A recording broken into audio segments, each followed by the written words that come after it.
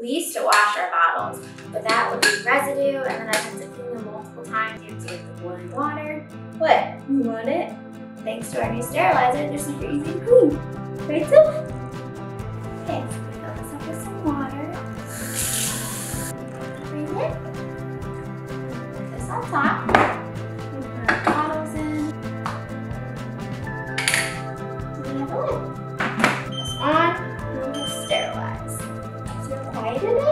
Super quiet. It sterilizes your bottles and then it'll dry it. Yay! And now they're all clean, so no more germs.